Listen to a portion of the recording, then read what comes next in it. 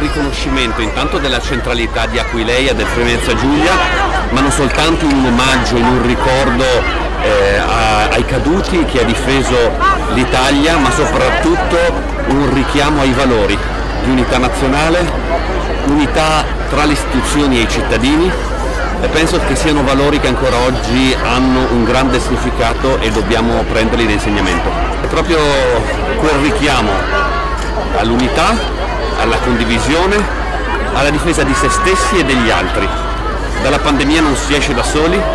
non si esce con l'individualismo, non si esce tantomeno con le menzogne, ma si esce con la verità della scienza e dei fatti.